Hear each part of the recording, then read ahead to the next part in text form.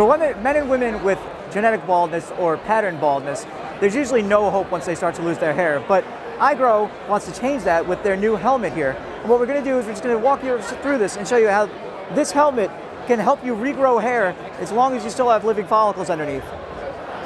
So we'll pop this off. And as you can see, it's just a basic helmet. And in here, there are about 20 something LEDs that fire off 655 nanometer wavelength lasers. And it's basically uh, low laser uh, therapy, uh, cold laser therapy.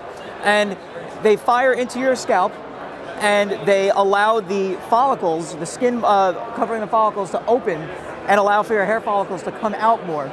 So if you're uh, not shiny bald, you know, where it can actually looks like someone's been, you know, waxing their head, you can basically regrow your hair. So what we'll do is we'll fire it up.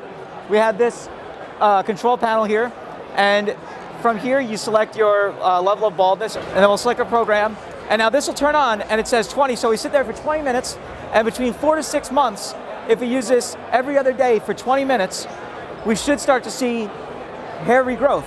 And you can see it, you know, they're just lights, they don't hurt at all. I'll put it on again while it's running and you'll, you'll see that it doesn't hurt me. No, it just feels like I'm wearing a helmet. And the cool thing is, with these little headphones, there's an audio jack so you can plug in your iPhone, you know, your iPad, watch a movie, watch, uh, watch some TV shows, listen to music, and just let the system work. So again, this is iGrow, uh, and they're really looking to help people that are losing their hair. So for Laptop Magazine, this is Dan Howley.